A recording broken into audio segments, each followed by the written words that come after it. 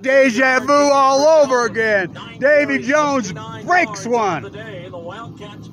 They're, they just ended the same way. It's the last loss I had on that hideous, ugly red fucking field was three years ago. They have a lot. Well, three and a half. I take it back. Four years ago. Four years ago, I think's the last time they lost up there, and it was David, three years ago, and it was Davy Jones who broke one to seal it. He just broke one to seal it. This extra point, Weber has one on that hideous red rug. They tried to put a purple one here in the day. I was like, no, no, no.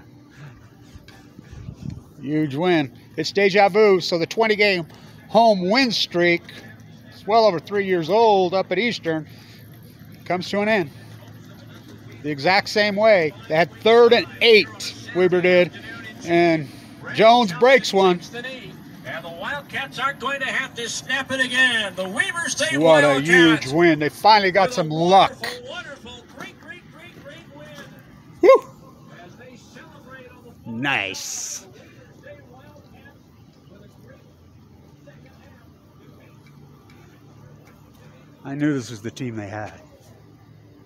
All that bad luck came to an end today.